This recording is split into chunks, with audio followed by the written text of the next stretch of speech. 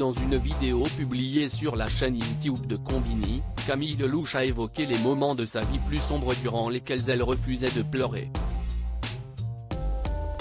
Une retenue qui aurait pu lui coûter cher, selon un médecin. Camille Lelouch respire le bonheur, et pourtant, il y a quelque temps de ça, elle n'aurait pas été d'accord avec cette affirmation. En octobre dernier, l'humoriste est devenue l'heureuse maman d'une petite fille qu'elle a prénommée Alma. Une naissance qu'elle a annoncée sur les réseaux sociaux, une semaine après l'arrivée de son enfant. Depuis, la femme de 36 ans est métamorphosée. Et pourtant, Camille Lelouch revient de loin. Ayant été victime d'un homme violent pendant deux ans, et sa carrière ayant mis du temps à décoller, elle admet avoir été longtemps en souffrance. Camille Lelouch revient sur ses années de galère, tous les artistes vivent ces moments de doute dans un entretien accordé à Combini et publié sur leur chaîne YouTube, elle revient sur les périodes compliquées qu'elle a rencontrées au cours de sa carrière en tant qu'artiste. Tu commences à trop rester au lit, à te laver un peu tard, et surtout à dire que tu ne peux pas aller au travail aujourd'hui.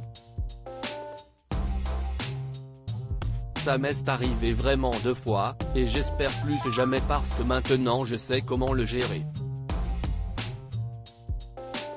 Tous les artistes vivent ces moments de doute et de tristesse surtout. Et quand ça ne va pas, Camille Lelouch écrit et compose, si estime thérapie, confie-t-elle.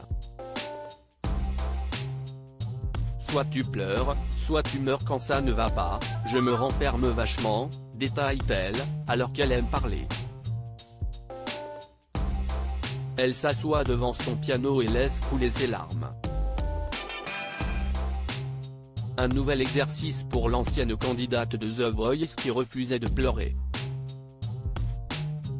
Avant je m'empêchais de pleurer, pour moi, c'était vraiment un signe de faiblesse. J'ai vu un médecin qui m'a dit, soit tu pleures, soit tu meurs, explique-t-elle.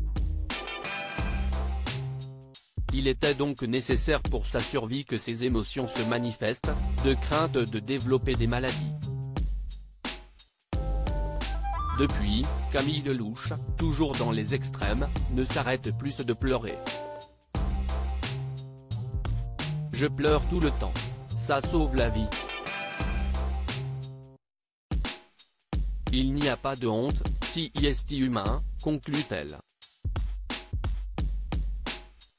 À lire aussi Je relativise, Camille Lelouch maman, ce que la naissance de sa fille a changé dans sa vie.